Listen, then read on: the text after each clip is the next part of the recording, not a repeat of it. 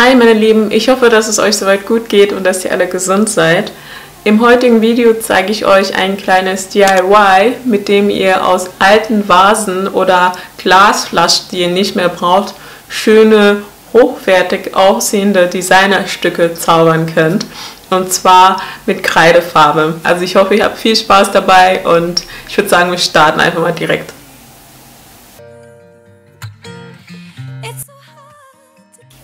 So, wir fangen erstmal damit an, was ihr alles für das DIY braucht. Und ihr braucht als erstes Acrylfarbe. Ich habe mich erstmal für weiße Acrylfarbe entschieden, da ich meine Vasen oder Gläser eher in Nude-Töne halten möchte, eher beige und helleren Tönen. Dann habe ich noch einen braunen Ton geholt, ähm, weil ich das Ganze mit weiß mischen möchte, um so eine Art äh, beige oder ja, so ein bisschen ähm, im beigeren Ton zu bekommen. Dann braucht ihr noch einen Pinsel, um äh, die Masse oder um die Farbe zu verrühren. Ich habe extra einen etwas dickeren Pinsel geholt, ähm, damit ich die Farbe besser auftragen kann. Und dann braucht ihr noch Backpulver, um ähm, die Farbe zu verrühren. Und zwar mischt man die Farbe mit Backpulver zusammen, um so ein bisschen diese kreideartige Konsistenz äh, zu erstellen. Und dann braucht ihr natürlich ein Gefäß eurer Wahl oder die Flaschen, die ihr bemalen wollt, die euch nicht mehr so gut gefallen. Ähm, ich habe einige gefunden. Ich zeige euch das Video am Beispiel dieser Vase oder dieses Gefäßes hier, äh, in der mein Freund immer sein Kleingeld aufbewahrt. Und das steht halt immer irgendwo in der Ecke in der Wohnung. Sieht halt einfach nicht so äh, schön aus.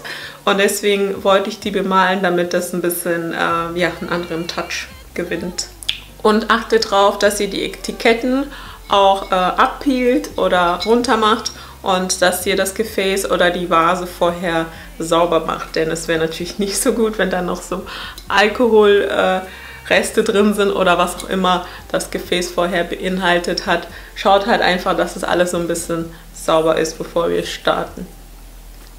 Ein bisschen Wasser kann auch nicht schaden, äh, könntet ihr eventuell gebrauchen, ist aber optional. Ähm, das dient einfach nur dem Zweck, falls die Farbe zu dickflüssig wird, dass ihr das Ganze so ein bisschen auflockern könnt. Und dann braucht ihr noch eine Unterlage, bestehend aus Zeitungen oder ähm, alten Zeitschriften. Ähm, ja, und dann können wir eigentlich direkt schon loslegen.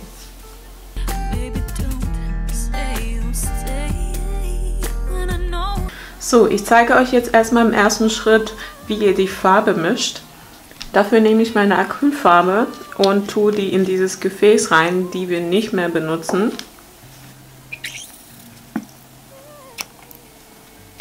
Das Ganze muss ich jetzt mit Backpulver vermischen und das Verhältnis ist 2 zu 1, also 2 mal Farbe, einmal Backpulver, also immer doppelt so viel Farbe wie Backpulver drinne.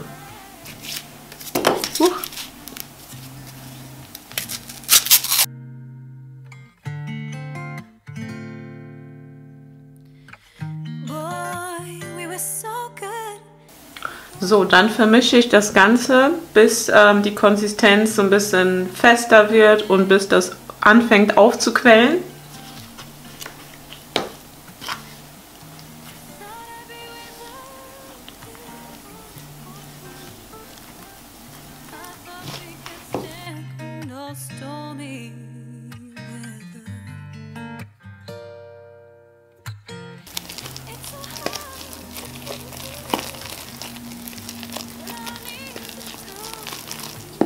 Und sollte die Konsistenz zu fest sein, dann kann ich so ein bisschen mehr, so ein bisschen Wasser hinzufügen. Ähm, aber jetzt so passt das eigentlich.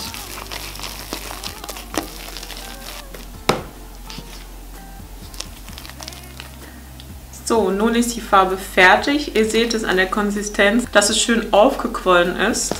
Es ist so schön fluffig und ähm, ja, so kann ich jetzt anfangen, die Vase zu bemalen.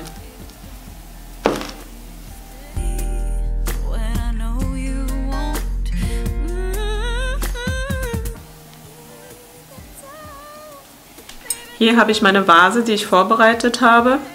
Ich habe auch versucht, das Etikett äh, zu entfernen. Es ist nicht komplett gelungen, aber ich finde es gar nicht so schlimm, weil die äh, Oberfläche soll am Ende sowieso nicht so glatt werden.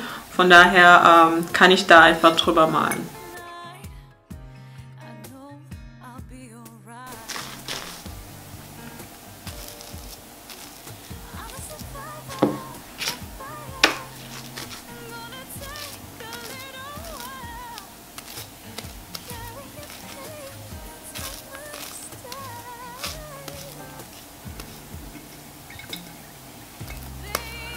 Ihr seht, die Farbe überdeckt die Vase eigentlich fast komplett. Ähm, aber um, um eine Nummer sicher zu gehen, äh, werde ich am Ende das Ganze kurz trocknen lassen und dann eine zweite, eine zweite Schicht drüber malen.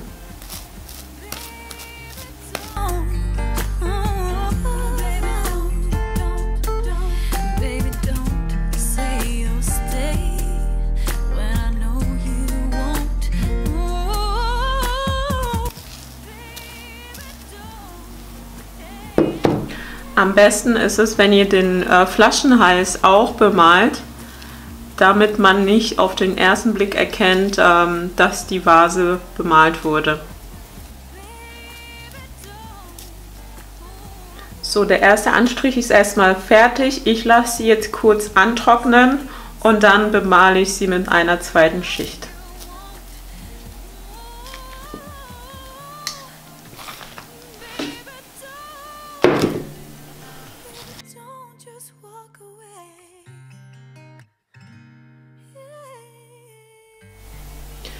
So, ich hatte davor schon ein paar Vasen bemalt, die ihr hier sehen könnt.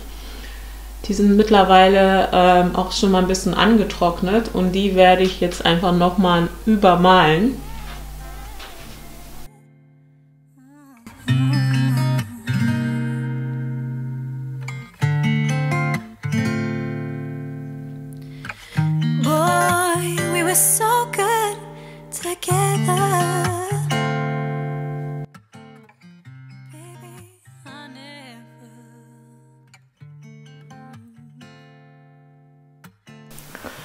So, unsere Vase ist leicht angetrocknet.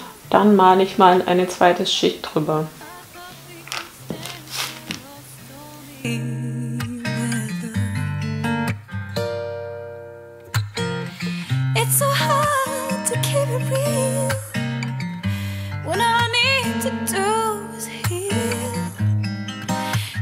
The pain.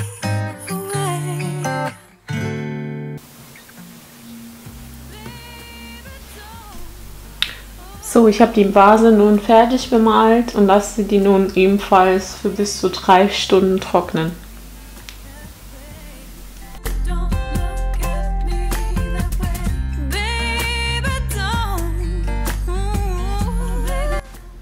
So, hier seht ihr auch meine Chaos-Ecke mit den ganzen Vasen, die ich angemalt habe. Ich habe mich da auf jeden Fall richtig ausgetobt und ja, habe die alle hier in diese Ecke gestellt zum Trocknen.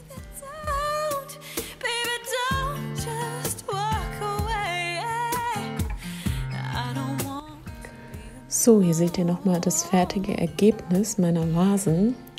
Also ich bin richtig happy und finde, das Ergebnis kann sich wirklich sehen lassen.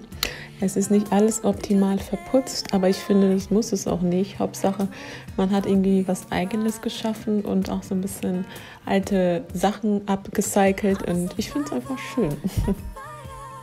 Schreibt mir auch gerne in die Kommentare, was ihr von dem Video haltet, wie euch das Video gefällt und äh, ob ihr da sowas nachmachen würdet und ob ich in Zukunft mehr davon machen soll. Ich würde mich freuen.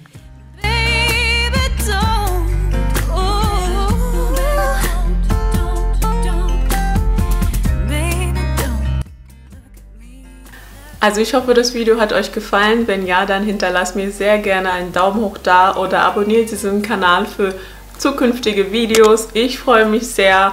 Schreibt mir gerne in den Kommentaren auch, wie ihr das Video fandet, inwiefern ihr das umsetzen könnt oder wollt. Schreibt mir auch gerne in die Kommentare, ob ich noch weitere Videos dieser Art drehen soll, denn sie machen mir tatsächlich sehr, sehr viel Spaß und ich teile es gerne mit euch und hoffe auf jeden Fall, dass ihr beim nächsten Video wieder dabei seid. Bis dann!